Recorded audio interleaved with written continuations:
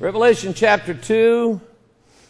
Good to have everybody here with us today. Good to have Brother Sterling here, Sister Gloria. You doing all right today? Fair? Fair to Midland? I won't make you preach nothing today. How's that?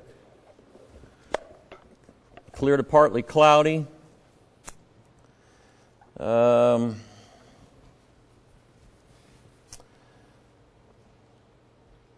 I asked you earlier to pray for me, and uh, there's little thing. I'll, I'll announce it later on during the service, but uh, we found out that uh, one of my granddaughters, Gracelyn, can I say this? Okay. Um, we're not for sure yet, but they're checking her out for cerebral palsy. And um, it's got me whacked. Uh, so she's such a cutie. And, and I mean, every time I look at her, she got the biggest, silliest Mike Hoggard grin. And uh, so if my mind seems off today, that's where it is, all right? So, Thyatira, Revelation chapter 2. We started this last Sunday. Uh, verse 18. Did you bring a Bible today? Is it a King James? Hope it is. Unto the angel of the church in Thyatira write, These things saith the Son of God, who hath eyes like unto a flame of fire, and his feet are like fine brass. He said, I know thy works, and charity, and service, and faith, and thy patience, and thy works. And then he said the last to be more than the first. I don't know, if, did anybody give that any thought? Why did you, and I've wondered this, and I even took a course on the book of Revelation in, in Bible college and made a D minus on it. Imagine that. But why do you think he said the first to be more, or the last to be more than the first? He said, I know thy works, and then charity, service, faith, patience, and, I, and thy works.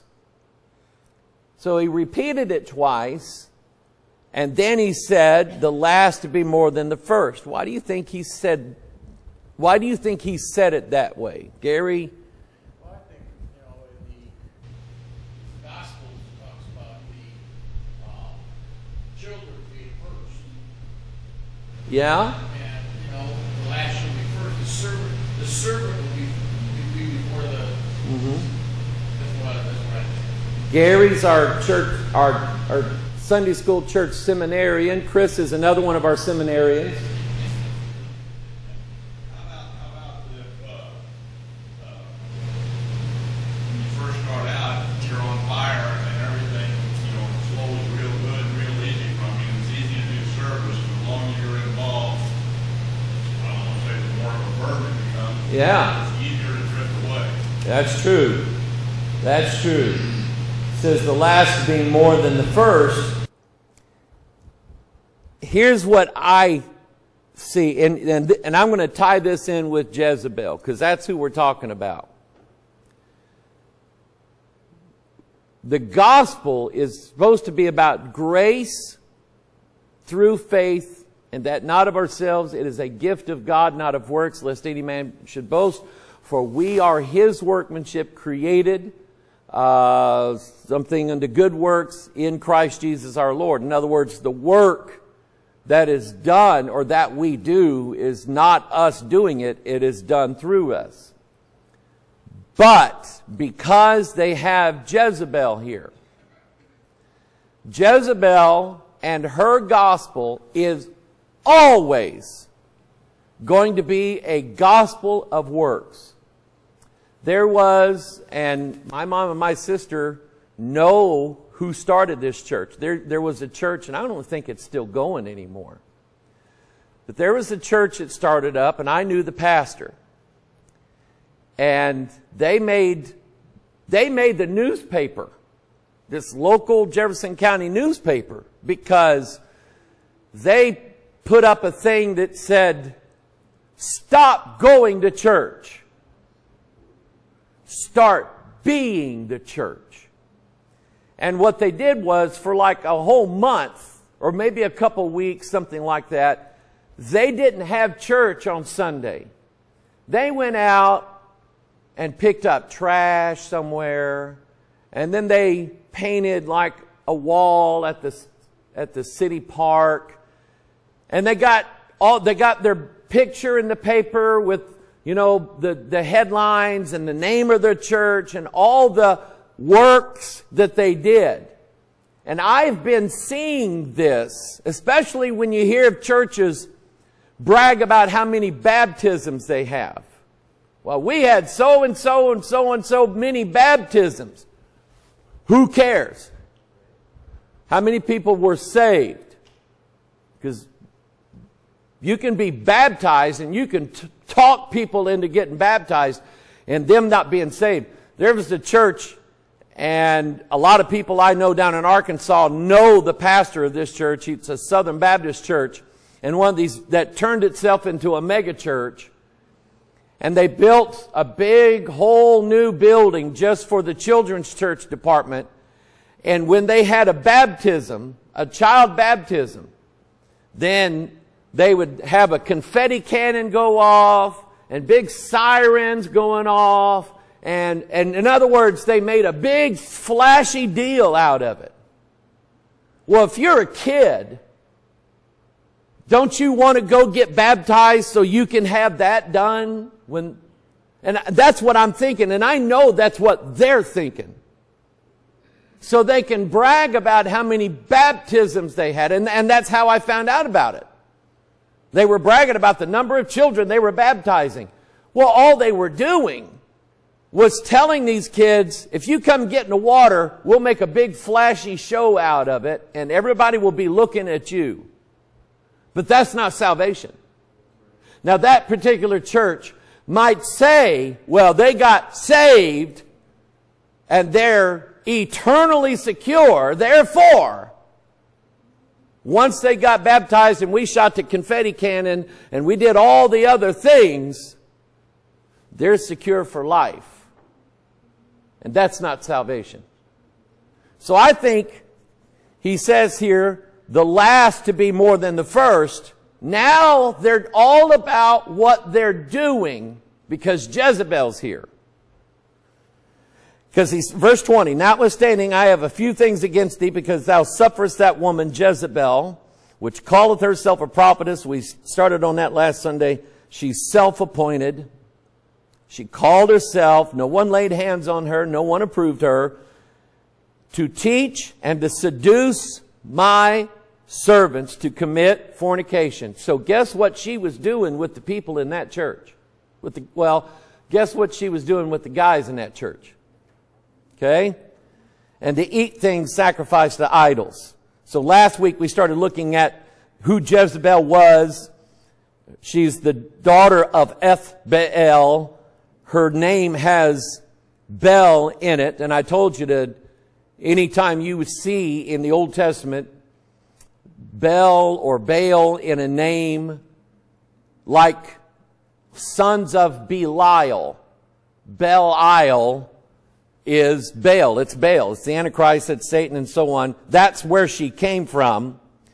We know that 1 Kings 18, she cut off the prophets of the Lord, which means the Bible. She cut, listen to this now, she cut off your Bible reading. Your, I'm talking to my Sunday school class and my Sunday school class online. She is the one who cut off your Bible reading. Whatever, however she does it, she doesn't care. Whether it's the shows you wanted to watch on TV, or nowadays, you know how in the old days we had to wait for a TV show to come on? And then once we watched it, we knew we weren't going to see that same TV show again until summertime when they did all the reruns. Well, nowadays we can binge watch. We can pull up on Netflix or Hulu or Vudu or whatever. We can pull up and watch a whole series of the same TV show, one right after another. And she's cutting off people's Bible reading. Or whatever else she can occupy your mind with that's how she does it. It even works on me here when I'm in the ministry working here. She can get me so busy or get my mind so distracted, I'll go, I haven't read my Bible yet. So sometimes if you, some of you folks call, especially in the morning, can I talk to Pastor Mike? And they call up, and if I say I'm studying, that's my Bible reading time. I'm learning to tell God yes and have to tell some people no, I can't talk right now. Have them call back in the afternoon or whatever, then I'll spend time with them. But I am making, I'm not a guy, I'm not a guy who is organized, and my mom. Just look at every desk I have but I'm making myself, you can exercise yourself into godliness, can you not? You can, as, as you built bad habits in life, you can build good habits. So build good habits in life with Bible reading. She uh, has the groves, the 400 uh, in 1 Kings 18. She had the prophets of the groves, 400, which ate at Jezebel's table. She takes good care of her preacher boys, her prophets. She pays them well. She gives them good pay packages. And they're not going to, those preachers, now, those preachers are not going to risk, and I have a, I've told this story before, but I'm going to tell it again. And it's a sad story because I really like this preacher. He actually gave me my very first speaking engagement dealing with the King James Bible. And it was, Mom, it was Mama's pastor. Okay? As, and he called me, want to know, he said, I, he said he was trying to get the King James in this church. It was a Southern Baptist church. They had bought a bunch of Pew Bibles and they were all NIVs. And so he asked me to come and would I spend about three days teaching them. So yeah, I'll tell them what I know. So I spent three days down there and we had some pretty good services, I thought. So then after that, on Sunday night, the preacher followed that up by preaching on some things on the King James, related to the King James. After about three months of that, his people had had enough of it. And out of a church of, you've been to that church, Mom, what they have, maybe 100 people, 110 people, something like that. Out of a church of 110 people, they, had, they pulled out 17 deacons. I think they dug some of them up out of the cemetery, brought them over. 17 deacons in this church. And on a Sunday afternoon, they had a deacons meeting without the pastor. The pastor knew that there was a meeting going on.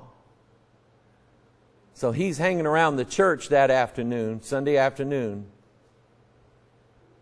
and they had their meeting and they finally called him in and they said, bottom line is, we're sick and tired of this King James only stuff.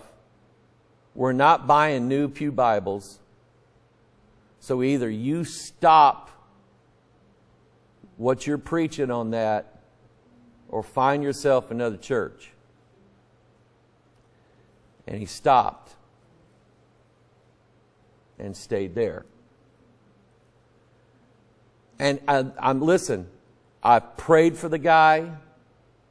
I actually saw him not too long after that at a Southwest Radio Church conference. Noah Hutchings, them, I actually, he came to that conference. I think it was in Little Rock and he came and prayed with him. He told me about, he finally left that church and went to another one. And I said, good, I'm glad you got out of there. Because he told me what had happened. I heard this from him. It's not gossip. And I always felt horrible for him because they were, he didn't have any other income. It was just him and his wife. They were older. His kids had grown up and married off. I don't know what they paid him, but they were holding his paycheck, paycheck in front of him saying, you either do what we tell you to do or you can get out. And it scared him. Jezebel will take care good, good care of her preachers so that when it's time to preach something that's actually right, they won't do it because that might rock the boat in the church. That happens. That happens more. I know another preacher took a church. He took that church and all of a sudden it started growing. That church hadn't grown in years. People were getting saved. He was preaching against sin. That hadn't happened in years. There was a guy in that church who had family members on, it was one of these committee churches. They had committees for everything. He wasn't on a committee, but he had people on committees in, from his family. It was on all the committees in the church. He was a pharmacist, but he owned about 10 pharmacies in that area, big area. So he made a lot of money. And the preacher found out he was laundering money through the church. And when he approached him with it, the guy told him, they was having lunch, a guy told him, he said, I thought you were smarter than this. He said, what are you talking about? He said, why don't you just mind your own business and what that guy was doing, that guy was paying that preacher's, there was a Christian school in the area. He was paying for his four kids to go to that Christian school. So he was trying to lock his claws into him. Jezebel can be a guy sometimes. And they finally had a big, big vote of confidence meeting on a Saturday. And some of the people stood up for the pastor and they said, if he's going, we're going. We ain't staying. We've had, we've had enough of that stuff going on in this church for years. Well, finally, the, the pastor just said, I'm stepping down. I'm not gonna, I'm not gonna stay here. And he left. That kind of stuff goes on everywhere. Jezebel ties men up with money and power and uses that power over them or things that she knows about them, she will use that against them to get those preachers or those churches to do what she wants them to do. And it happens to, on the denomination level, it happens on the church level, it happens on the big ministry level, it happens. Let me move on.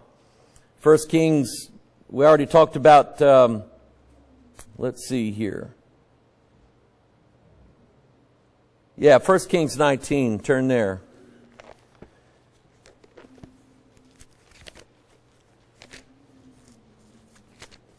Ahab told Jezebel all that Elijah had done. This is the showdown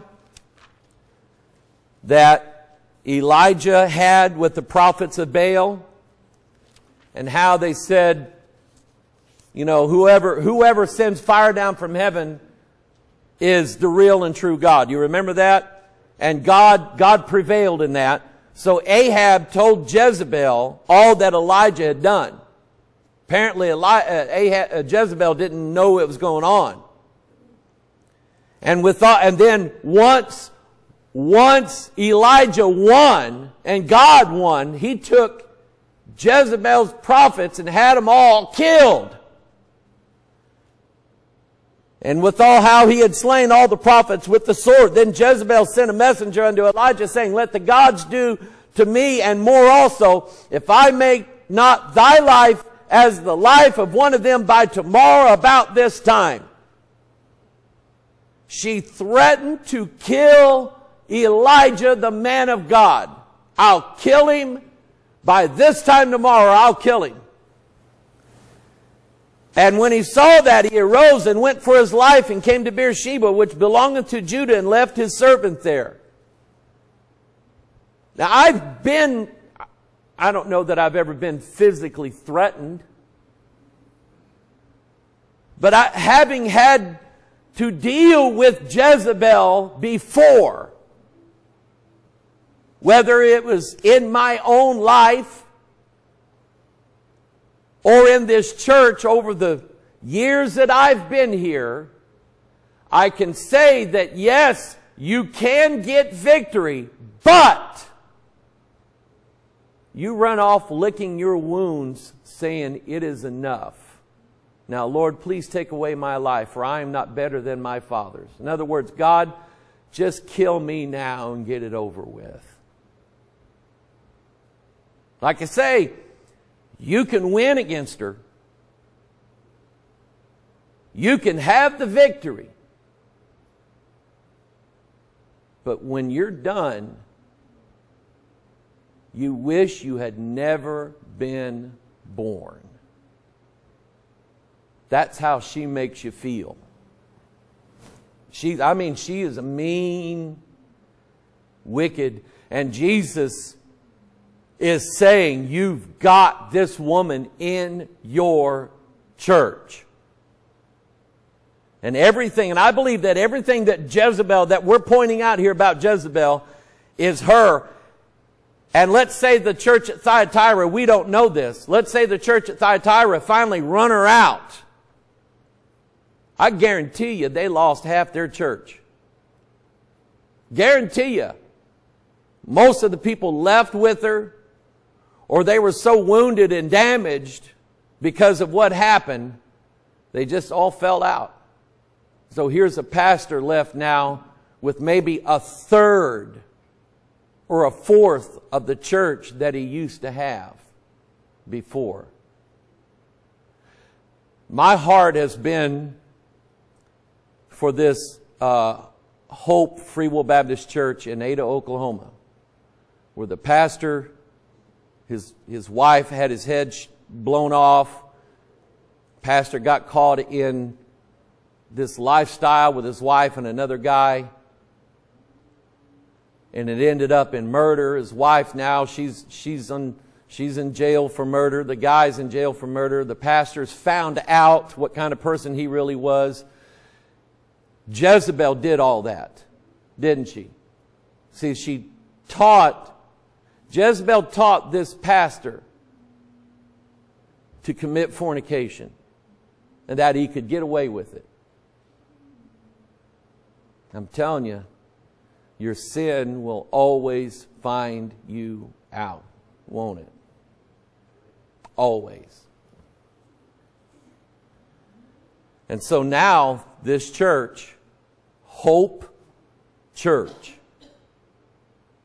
has got no hope. Maybe God can send revival now in that church. Maybe He can. But since that whole town knows about that church, in fact, that whole county, the whole state of Oklahoma knows about that church, who are they going to get to go there? Who would go there?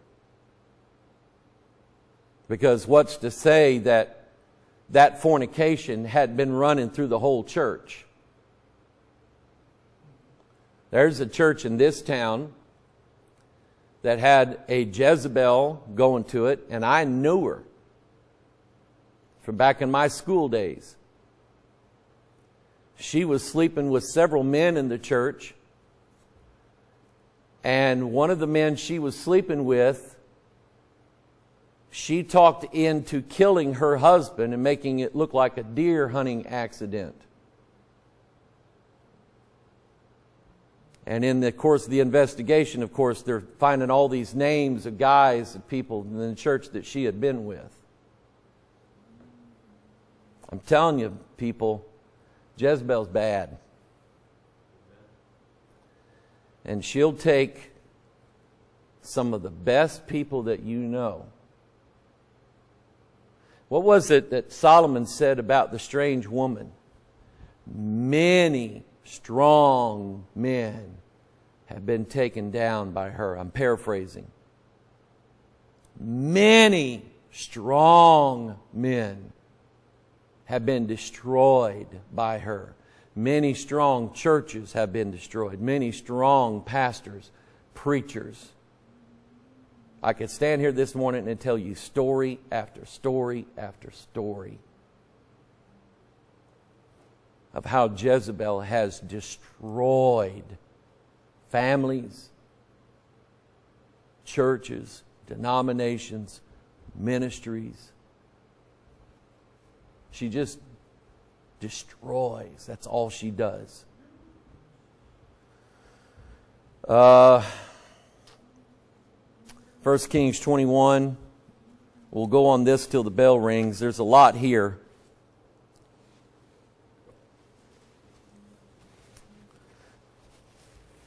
This is the story of uh, Naboth and his vineyard. Uh, for let's read it. And it came to pass after those things that Naboth the Jezreelite had a vineyard. The vineyard is, of course, Christ said, "I'm the vine, you're the branches." A family is a vineyard. Vineyard vineyard looks like DNA. Okay, so family family bond families can be destroyed. Churches can be destroyed. Naboth the Jezreelite had a vineyard which was in Jezreel, hard by the palace of Ahab the king of Samaria. And Ahab spake unto, Jeze- uh, unto Naboth, saying, Give me thy vineyard, that I may have it for a garden of herbs, because it is near unto my house, and I will give it thee. I will give thee for it a better vineyard than it. And the the question I'm asking is, if Ahab actually does have a better vineyard, why is he wanting to give his way to get Naboth? That doesn't make sense to me. So that sounds like a lie, right? It sounds like a lie. I will give it thee for it a better vineyard than it, or if it seem good to thee, I will give thee the worth of it in money. The love of money is the root of all evil. It's not just pastors that can chase after money in a church. Like I said, this guy in this church, that this, this pastor friend of mine, he ruled that church from behind. Jezebel's always behind us. She's in the shadows. And this guy never sat on a committee in that church, but he had people positioned so that he could, he could launder money through that church and get away with it. And I won't tell you the whole deal about it, but he was doing it. And the pastor I know called David Gibbs, the Christian Law Association, called, um, uh, I can't remember another guy, is a big Christian law thing. He called both of them, and they both told him, now that you know about it, you better put a stop to it now, or you're going to prison. Because if you know about it and you don't do anything to stop it, you're a co-conspirator and you're going to prison. And this guy's like, I'm not going to prison.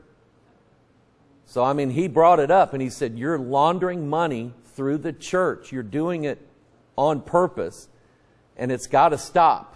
And boy, I mean, it broke loose. I will give thee the worth of it money. I know the bell rang. Naboth said today, Have the Lord forbid it me that I should get, uh, give the inheritance of my fathers unto thee. Listen, you hold on to your family. Don't let the world have your family. Let's us hold on to this church. We got a family here. I, I, don't know them. They, as soon as they saw me, brother Mike, how you doing? Mike Hoggard, how you doing? Okay, they're here. They didn't drive all the way out from Pennsylvania to just come to some random church in Missouri because they think church, Missouri churches are all better than the ones in Pennsylvania. They came here because of that. And we've got to hang on to that. Now, if God takes it away, God takes it away. That's Him, that's up to Him. But I'd rather it be God take it away than me do something stupid and ruin it. I don't want to be the guy laying in bed with my wife's boyfriend having my gun shooting me in the middle of the night. Sweetie would, Sweetie Pie would never do that to me. But you get what I'm saying. This church and my family is the most precious thing to me other than my salvation. I don't want anything else this world has to offer. I don't want another woman. I don't want another church. I've been offered jobs. I don't want them. I've got what I want right here. This is my vineyard. And Ahab and Jezebel can't have it, and I'll die for it.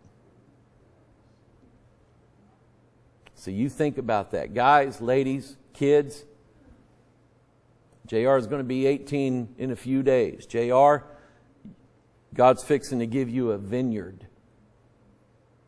When He does, you hang on to it